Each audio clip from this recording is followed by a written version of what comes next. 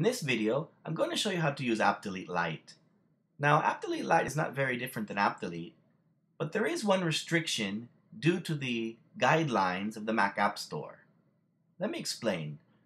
Let's go ahead and open AppDelete Lite. And we can open the Finder to find an app to delete.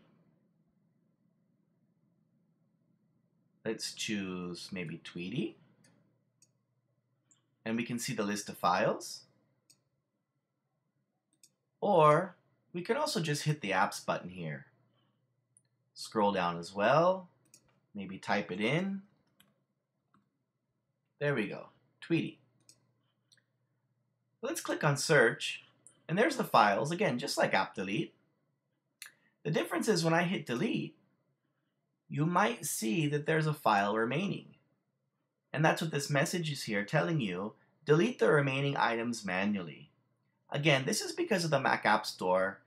AppDelete Lite can't delete password protected files. What we're going to do, there's an easy solution. Just click here, do not show this message again.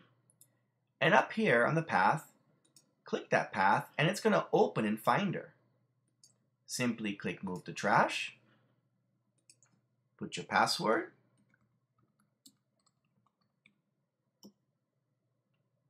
And now Tweetie's gone. We can go ahead and close this. And if we go down and look in our trash, we'll see there it is.